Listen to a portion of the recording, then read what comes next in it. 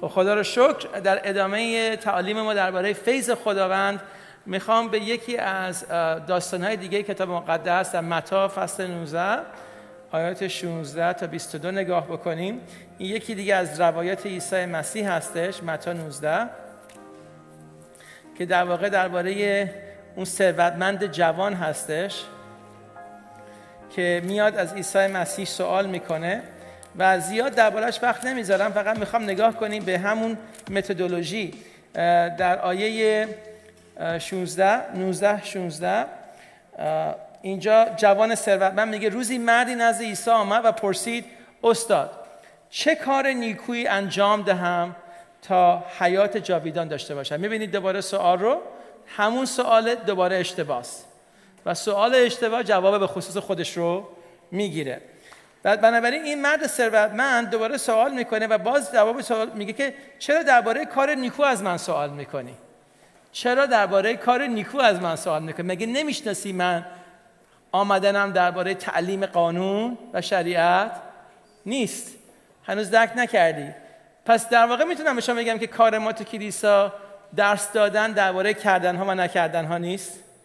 یعنی آیا واقعا ما باید بچه ها رو تعلیم بدیم؟ بهش میگیم دزدی نکن.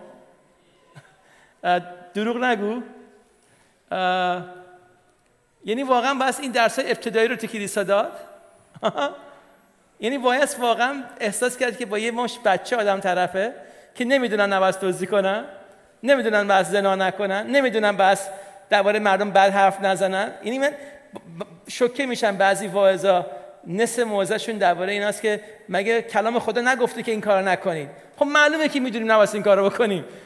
برو درباره چیز اساسی تر صحبت کن. اساسی ترین نکته که بحث دربارهش کلیسا صحبت کرد چیه؟ عدالت و فیض خداست. اگه اینا جا بیفته همه چیز دیگه ازش ریشه درست می‌گیره.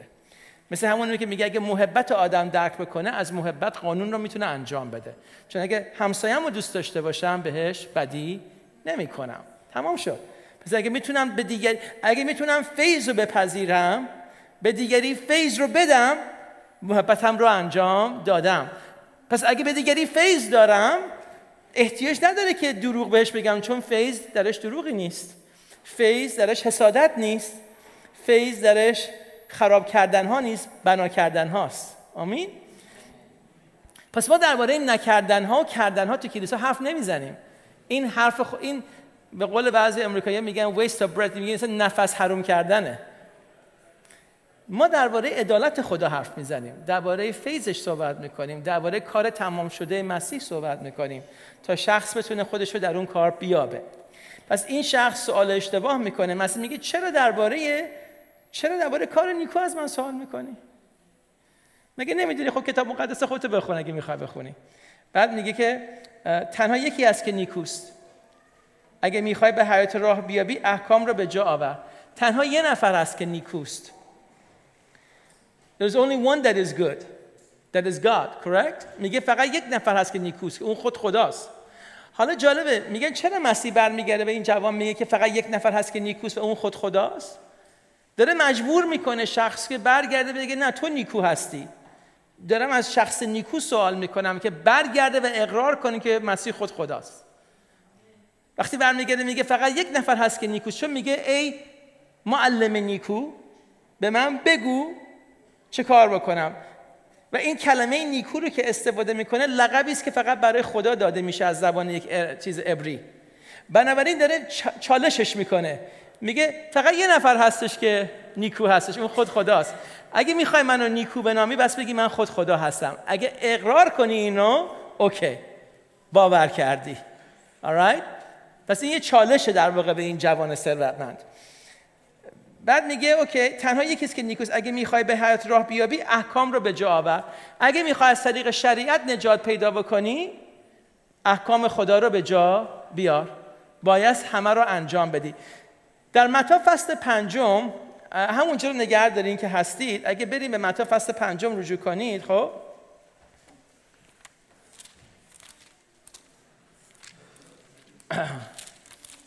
اینجا موعظه بالای کوه هستش. و در موعظه بالای کوه یک صحبت خیلی زیبایی میشه که بین مسیح و شنوندگان هستش. و اینجا میگه که سب کنید. میگه که گمان مبرید آیه 17 5 17 گمان مبرید که آمدم تا تورات رو نوشته های پیامبران را نسخ کنم. نیامدم تا آنها را نسخ کنم بلکه آمدم تا تحققشان بخشم یعنی به انجام برسونم زیرا آمین به شما می‌گویم تا آسمان و زمین زایل نشود نقطه یا حمزه از تورات هرگز زایل نخواهد شد تا اینکه همه به انجام برسد. پس هر که یکی از این کوچکترین احکام را کم اهمیت شمارد به دیگران آن نیز چنین بیاموزد در پادشاهی آسمانیان کوچکترین به شمار خواهد آمد. اما هر که این احکام را اجرا کند و آنها را به دیگران بیاموزد او را در پادشاهی آسمان بزرگ خواهند خوانده خواهد شد. زیرا به شما می‌گویم تا پارساییشان بدتر از پارسایی علمای دینی و فریسیان نباشد هرگز پادشاهی آسمان راه نخواهید یافت. Alright صبر کنیم ببینم. بعد مانه اینکه درست داره بر عکس فیس صحبت می‌کنه. درسته؟ Alright پس می‌بینیم که به یه دونه ثروتمند داره میگه چرا درباره احکام داری با من صحبت می‌کنی؟ اگه می‌خوای نجات پیدا کنی احکام رو به انجام برسون. چون پرسیدی من باید چی کار بکنم؟ بس در نظر بگیریم که شنونده های عیسی مسیح اینجا کیا هستند سوال اول آیا در زمانی که مسیح داشت راه می‌رفت توی زمین قبل از رستاخیزش مسیحی روی زمین بود؟ اوکی پس با کلیسا صحبت نمی‌تونه بکنه. شما که نشسته بودید اونجا صلیب که به انجام نرسیده بود. پس داره با آدمایی که هنوز صلیب رو ندیدن صحبت می‌کنه. نکته دوم شنونده ها دارن ازش سوال می‌کنن چون اینا همه یهودیا و جلیلیا هستن. یکی حتما ازش سوال کرده بود. استاد آیا آمدی که قانون موسی رو برداری؟ بعد برمیگرده میگه نه. من نیومدم قانون موسی رو بردارم. کی گفته به تو من می‌خوام قانون موسی بردارم؟ من می‌خوام به اتمام برسونمشون. ولی به شماهایی که اینجا نشستید ای ای یهودیا ای جلیلیا به شما دارم میگم. اگه می‌خوای قانون رو اجرا کنی تا آخرش برو. چون اگه یکی از کوچکترین این قانون ها رو بشکنی در ملکوت خدا مجرم شمرده شدی. ولی اگه بتونی همش رو انجام بدی باری کلا به تو. سوال پیش میاد. اوکی؟ پس همین سوال رو از مرد ثروتمند می‌کنه. به مرد ثروتمند میگه خب می‌خوای نجات پیدا بکنی؟ احکام قانون رو انجام بده. مرد ثروتمند خیلی چیز پرروه برمیگرده میگه از ایام فرزندی و بچگیم تمامی قوانین شریعت را به انجام رساندم. اگه یادتون هستش این رو میگه. درسته؟ چیزه. میگه میگه آن مرد پرسید کدام احکام را؟ عیسی گفت قتل مکن زنا مکن دزدی مکن شاهد دروغ مده ده فرمانو. بعد پسره خیلی پرروه میگه همه این احکام را به انجام آوردم. دیگر چه کار بکنم؟ او مای گاش پررو دروغ از این گنده تر شنیدین؟ در واقع داره برمیگرده میگه من کاملم. من کاملم. تمام احکام رو انجام دادم. آه؟ نه تنها سوال اشتباه رو می‌کنه ادعای گناه, ادعای گناه هم می‌کنه. چون در واقع داره دروغ میگه. میگه من تمام احکام شریعت را انجام دادم. خب؟ تمامش رو انجام دادم. همون سوالی که در واقع ازش میشه در بالای کوه برمیگرده و میگه اوکی شماها اومدید اینجا می‌خواد ببینید من می‌خوام با قانون موسی چیکار کنم؟ من نیومدم قانون موسی رو عوض بکنم. قانون موسی سر جاش هست.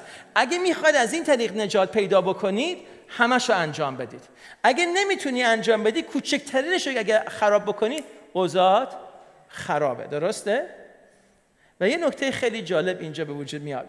از نظر فکری چون در آخر بالای کوه یکی از بزرگترین مشکل ترین آیات برای من بود تا اینکه عدالت خدا برام کشف شد. آخرین آیه فصل پنجم آیه چهل و هفت. متا پنج چهل و هفت. و میگه پس شما کامل باشید چنان که پدر آسمانی شما کامل است. او مای گاش وقتی من این آیه رو خوندم قبل از اینکه عدالت خدا برام کشف بشه توش گیر کردم. یعنی معذرت می‌خوام عیسی میگه من می‌تونم کامل باشم مثل خدا. یعنی برمیگرده میگه می‌دونین چیه؟ اصلا بهتون میگم می‌خوام راحتتون بکنم. چون میگه قانون میگه زنا نکن ولی من به شما میگم که فکرشو بکنی زنا کردی. قانون میگه قتل نکن ولی من به شما میگم اگه به برادر خود گفتی راکا یعنی احمق قتل انجام دادی. قانون میگه قسم بی خود نخو ولی من میگم اگه به هیکل به زمین هیکل به هر چی قسم بخوری نه تو نباشه آره تو آره باشه. قانون میگه عشر هدایای خودت رو بده ولی من به شما میگم که هر کسی هر چی ازت خواست بهش بده. قانون میگه به همسایه خود محبت کن ولی من به شما می‌گویم که به دشمنان خودتون محبت کنید. بعد دیگه آخر آش که دیگه واقعا داره میسوزه و قلقل می‌کنه که طرف دیگه داره گیج میشه میگه اصلا می‌دونی چیه؟ من به شما میگم از کامل باشی. ما تو متحیر موندین درسته؟ خوشبختانه سخنگو داره با افرادی حرف می‌زنه که مسیحی نیستن. خوشبختانه. چون داره بهشون یه چیزی رو میفهمونه. بدون من نجات امکان پذیر نیست. چون شما غیر ممکنه بتونی مثل خدا کامل باشی. پس داره به اون یهودیا و جلیلیانی که روی, روی بالای کوه نشستن داره یه چیزی رو میگه. میگه شما از من خواستید من با قانون موسی چیکار دارم می‌کنم؟ من کاری نمی‌کنم با قانون موسی. سر جای خودش هست. ولی دارم بهتون میگم. اگه کامل نباشی هیچ وقت نجات پیدا نمی‌کنی. پس غیر ممکن. غیر ممکن غیر ممکنه. و اینجا ثروتمند جوان ثروتمند داره چیکار می‌کنه؟ برمیگرده میگه من تمام این کارها رو انجام دادم. و بعد مسیح میگه راست میگی پس یه کار غیر ممکن رو خواستی انجام دادی. دروغگو. پس برو تمام مال و ثروتت رو بفروش بیا به دنبال من. یعنی من حالا با یه فرد دروغگو سر کار دارم اینجا مچ تو می‌گیرم. مسیح نمی‌خواد که ما مالمون رو بدیم بره تا راضی بشه. مسیح داره از یه دروغگو چالش می‌گیره. میگه حالا که گفتی کارت کامله کاری که من می‌دونم تو غیر ممکنه بتونی انجام بدی رو برو انجام بده. تمام مال و ثروتت رو بفروش. خب نمی‌تونست بفروشه. کسی هم ازش نمی‌خواست. ولی چون اومد گفتش که نه من می‌تونم گفت برو ببینم چیکار می‌کنی. گفت من نمی‌تونم. توش گیر کرد. و بعد برمیگرده میگه چطوری یه شطور می‌تونه از نوک سوزن عبور بکنه؟ اصطلاح آدم ثروتمند نیستش که می‌تونه نجات پیدا کنه نکنه. کسی هستش که می‌خواد از طریق شریعت نجات پیدا کنه. مثل این میمونه که یه شطور از نوک سوزن عبور بکنه. غیر ممکنه. غیر ممکنه. غیر ممکنه. غیر ممکنه. سعی نکن. تلاش نکن. حالا مردم فکر می‌کنن شریعت تو کلیسا چیه؟ هر دفعه من درباره شریعت صحبت می‌کنم مردم فکر می‌کنن درباره شریعت صحبت می‌کنم که مثلا طرف آره مثلا این قانون این قانون رو انجام ندیم این قانون رو انجام ندیم مثلا کلیسا آمدن نیومدن می‌دونی شریعت برای ما چی می‌تونه باشه؟ شریعت برای ایماندار می‌تونه هر سیستمی بشه که از اون طریق اون شخص احساس بکنه که می‌تونه خدا رو راضی نگه داره. شریعت هر سیستم فکری و عمل کردی هست تو کلیسا که شخص فکر می‌کنه با عمل اون می‌تونه خدا رو راضی نگه داره. مثل میمونه که خدا راضی نگه داشتنش با عمل شما رفت داره. و این یه انقلاب فکریه که وقتی شخص آزاد میشه از اینکه راضی بودن و ناراضی بودن خدا به عمل شما هیچ رفتی نداره. تمام سیستم مذهبی داره فرو میریزه اینجا. چون همینی که دارم بهتون میگم حقیقت واقعیه. راضی و ناراضی بودن خدا هیچ رفتی به عملکرد شما نداره. اگر داشت مسیح بیهوده آمده. برگردیم به دینتون. اسلام دین خیلی خوبیه برای این کارا. روش داره سیستم داره. پنج دفعه در روز نمازتو بخون. می‌تونیم یک مسلمان خوب باشی. به خاطر اینکه کارهایی که ازت می‌خواد از نظر فکری مذهبی رو آسونتر از مسیحیته. دشمنتو نباید دوست داشته باشی. اوکی؟ دلیل نداره. بزن تو سرش. زد بزن. فش داد فش بده. کشتت بکشش. پس اگه دین می‌خوای اجرا کنی چرا اونجا؟ از اونجا مدی اینجا؟ این که سختتر شد. غیر ممکنه. ها؟ دو درصد بحث بدی.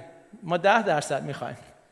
یک ده ها آسونتره بابا دین محمد آدم بسیار فهمیده ای بود. دینش آسون کرد. مسیح دین رو غیر ممکن کرد. دین رو غیر ممکن کرد. چون با فیض اومد. دل مسیح بودش که دین رو غیر ممکن بکنه تا شخص بتونه با آغوش بگیره فیضشو. اگر امکان پذیر بود پس به اون چه نیازی بود؟ اوکی؟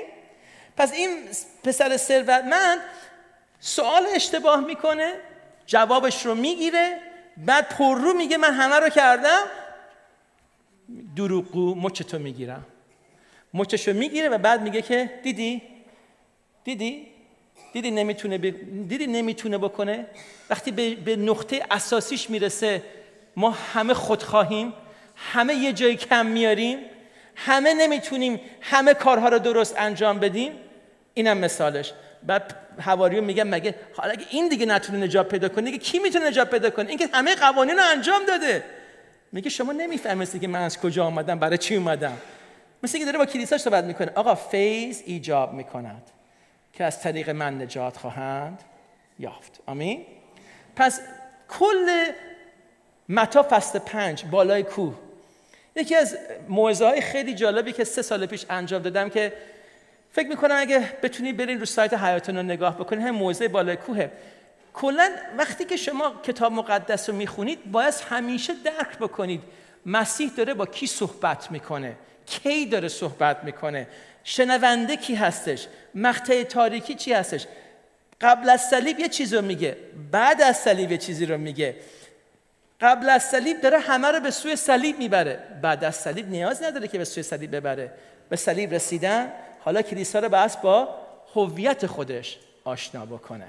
و این کار رو به روح القدس میبخشه که از طریق نوشته های رسولان ما رو با هویت خودمون آشنا می‌کنن آمین. بیشتر روایات عیسی مسیح بیشتر تعالیمش بیشتر حرفایی که می‌زنه فقط و فقط به یه جا برمیگرده. غیر ممکنه به جز من. غیر ممکنه به جز من.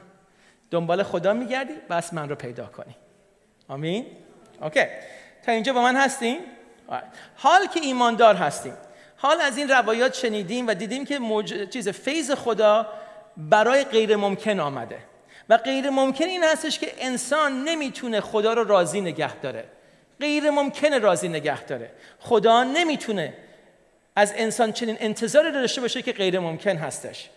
ما از بچه هامون غیر ممکن ها رو انتظار نداریم. ما که پدران زمینی هستیم انتظارمون این نیستش که بچه هامون کاملا همیشه رفتار کنن. درسته؟ اتفاقا انتظار داریم که بعض وقتا خرابکاری هم بکنن. و از قبل برنامه ریزی فکری کردیم که وقتی بکنن چجوری رفتار کنیم. درسته؟ آماده هستیم. چون می‌دونیم یه چیزی رو بالاخره میشکونه. سر میز لیوان میفته تو اتاقش یه چیزی خراب میشه. اسباب بازی جدید رو میشکونه. ها؟ اینا برنامه ریزی شده. هیچ شکه کننده نیست. اگه شما که پدران زم... مادران زمینی هستید این انتظار رو از بچه هاتون ندارید که کاملا در همه وقت درست عمل کنن. چقدر بیشتر پدر آسمانی شما. که شما رو با فیض بیشتر از اینها دوست داره. از آردی از قبل تصمیم گرفت که شما گناه خواهید کرد. اشتباه خواهید نمود. روپاتون رو نمی‌تونید همیشه باستید بعض وقتا حسادت خواهید داشت. بعض وقت عصبانی خواهید شد. بعض وقت به تمایلات جسمانی خودتون تسلیم خواهید گشت. بعض وقت دروغ خواهید گفت. پس از قبل برنامه نجات شما رو روی صلیب ریخت. تا با این دانشی که از شما داشت و چون محبتش ایجاب می‌کرد فکر خودش رو آماده کرد که اینها اون رو ناراحت نکنه. یعنی تو نمی... یعنی تو از خدا بیشتری؟ شما که پدر مادری از خدا بزرگتری تو تو می‌تونی ها؟ تو می‌تونی. تو هر روز درباره بچت اینجوری فکر می‌کنی. شاید ناراحت بشی ولی میبخشی. شاید عذاب بکشی ولی ازش عبور می‌کنی. مخصوصا وقتی بچه ها کوچیکترن این بیشتر نمایان میشه. بخشش یک ثانیه‌ایه فراموشی نیم ثانیه‌ایه حتی دو دقیقه هم نمی‌کشه طرف درسته؟ هر چقدر بچه بزرگتر میشه انتظارات بیشتر میشه ولی آخر سر باز بچه بچه است. پدر 86 ساله من منو بغلم می‌کنه میگه تو مانی کوچولوی من هستی. تو هر کاری هم بکنی باز بچه من هستی. این حرف آسمانیه. که از زبان یه مرد 86 ساله داره به, به وجود میاد. تا هر کاری هم که بکنی بچه کوچولوی من هستی. این فیزه انتظارات بیشتر میشه. آره. آدم می‌خواد یه بچه که بزرگ ساله بلوغ داره اشتباهات بچگان دیگه نکنه. ولی آخر سر باز می‌کنه. باز میشه. باز میفته. و اگه بچه بچه نباشه فیس کجاست؟ آمین؟ Okay. پس وقتی ما میگیم فیض ما رو آزاد می‌کنه منظورمون همینه. من آزادم. من آزادم. و بعد کلام خود چقدر شیرین میگه؟ میگه آن که پسر آزاد نموده است یقینا آزاد است. درباره چه چیز داره صحبت می‌کنه؟ این آزادی. آزادی که فیض به شما میده اینی که به راحتی می‌تونی اینجا بشینی و اصلا به دیروز خودت نگاه نکنی. اصلا به دیروز خودت نگاه نکنی. چون خدا نگاه نمی‌کنه شما هم نگاه نمی‌کنی. و آزادی که بپرستی بپری بالای پایین. پرستش کنی راحت باشی با اینکه دیروز بزرگترین فاجعه انجام شده تو زندگیت و اشتباه بزرگ کردی. با این حال آزادی. چون می‌تونی. چون اینجا آزادی یک بچه است که اسباب بازی داستان پسرم میگم. خیلی جالب بود. من با تمام عشق و دل و فکرم رفتم توی کریسمس پنج 6 سال هفت 8 سال پیش یه دونه اسباب بازی بسیار گرون قیمت برای بچه‌م خریدم. خب؟ Alright و این اسباب بازی یه دونه تانک بود. که توی یه دونه از این فیلم های, مست... فیلم های هالیوود استفادهش کرده بودن. این قدی بود. همه کارا رو این تانک می‌کرد. شوت می‌کرد از خودش گاز می‌داد بیرون بخار می‌داد بیرون. مثل این باور نکردنی بود. من عاشق شده بودم. خانمم به هم یه چیزی گفت اون زمان. گفتش که این این بچه من نمی‌تونه اینو درک بکنه. این پسرت اگه اینو براش بگیری نمی‌فهمه این چقدر اسب بازی با ارزشیه. این الان براش نگی نمی‌فهمه چیه. این برای یه زمان دیگهش. برای یه چیز ساده تر براش بگی. نه نه نه نه نه همینه. این این دیگه بهتر از این گیر نمیاد. ما اینو خریدیم بسته بندیش کردیم. روز کریسمس من بسته رو باز کردم. آقا من چه هیجان زده بودم. اینو گذاشتم جلوی بچه‌م تا شروع کرد شلیک کردن. این به دو اون به دو. این از ترسش رفته خوش قایم کرده بود. تانکم دنبالش. من فکر می‌کردم که حالا با هیجان میاد منو می‌گیره ماچ می‌کنم میگه چه هدیه رفته بود با این کادوهای 5 6 دلاری خوش مشغول کرده بود و اصلا این رو نتونست بگیره. این مون تو اون گوشه خونه روز به روز سال به سال همینطوری خاک کشید خاک کشید خاک کشید. بالاخره دادم رفت به نفر دیگه. ولی یه درس آموختم. من بهترینا رو برای بچه‌م می‌خوام.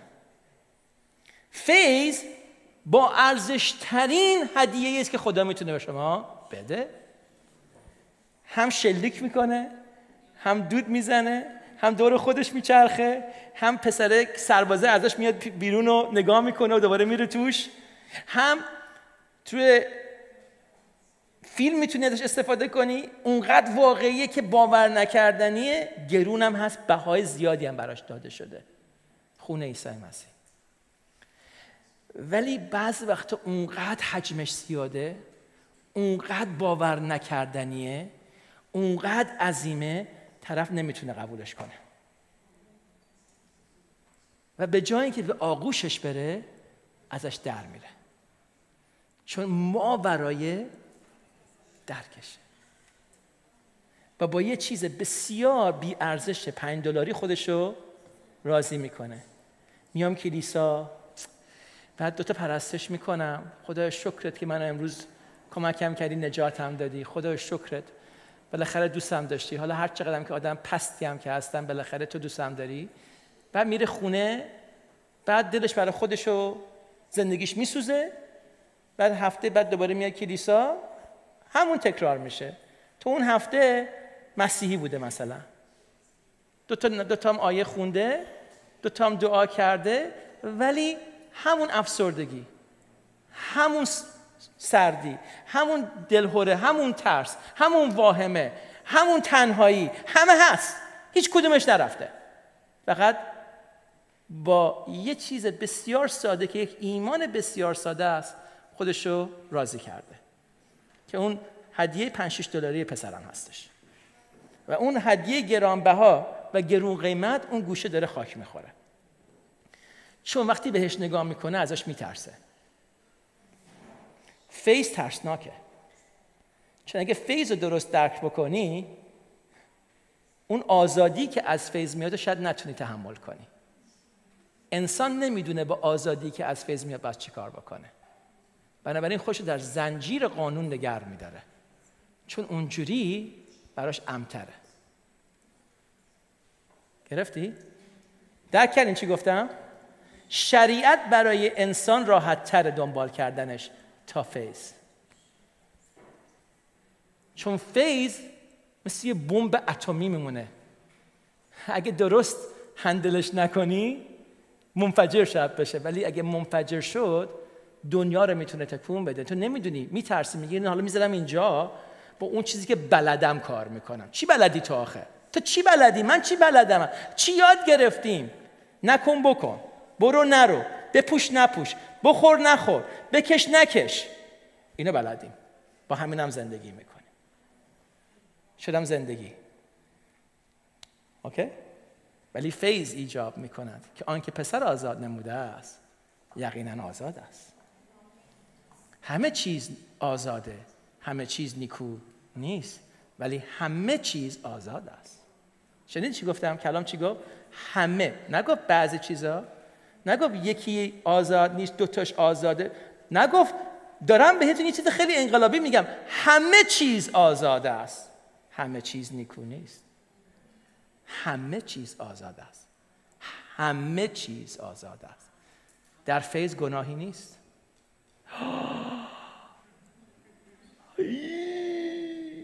مردم همینجا الان پنج سنکوب کردم. به خاطر اینکه یا کلام اینو میگه یا نمیگه نمیگه در فیض 92 درصد کاراتون آزاده 8 درصد آزاد نیست. میگه حکمت داشته باش حکمت داشته باش. با روح القدس زندگی کن. روح القدس بهت میگه. تموم شد. روح القدس بهت میگه. چیکار داری دیگه؟ باید حرف می‌زنه. مگه ایماندار نیستی؟ بهت میگه نکن نکن. بهت میگه بکن بکن. آزاد باش. نشدید لوحه برای خودت درست بکن. بعد دیگری رو در زیر زنجیر خودت قرار بده. چون روح القدس به تو گفت این کارو نکن. تو می‌خوای دیگری هم اون کارو نکنه. به تو به اون چی کار داری؟ روح القدس شاید به تو بگه کاری رو نکنه. شاید به بغل دستی بگه مهم نیست بکن. تو می‌خوای قانون خودت رو بر دیگری سوار کنی. فیض ایجاب نمی‌کنه. فیضی نیست. فیض اینه که روح القدس با تک تک ما کار می‌کنه. بر طبق جایی که ما هستیم و درکمون اونجاست. این آزادیه. و ایرانی اگه بتونه این آزادی رو بپذیره انقلاب میشه. انقلاب میشه. ولی چون یه عمری چهارده قرن زیر بار شریعت اسلام بزرگ شده نمی‌تونه این آزادی رو بپذیره. این آزادی ما ورای درکشه. بنابراین برمیگرده تو زنجیر خودش. نه تنها اعضا بلکه خادمینش. پس چه کسی آزادتره. کسی که می‌تونه انجام بده و انجام نمیده یا کسی که نمی‌تونه انجام بده و انجام نمیده. کی آزادتره؟ کسی که می‌تونه انجام بده و انجام نمیده اون آزادتره. تا کسی که بهش گفته حق نداری انجام بدی و انجام نمیده. چه هنری هست در اون هنر اینه که می‌تونی همه کارها رو بکنی و خودت تصمیم می‌گیری نکنی. این فیضه. این قشنگی فیضه. اینه که شما رو آزاد کرده. اینجا هستش که شما خدایان میشید. چون خدا می‌تونه گناه بکنه و گناه نمی‌کنه. مسیح میگه نمی‌تونست گناه بکنه. می‌تونست گناه کنه ولی گناه نکرد. برای همین تونست برای شما من جایگزین بشه. چون قادر بود اشتباه بکنه و اشتباه.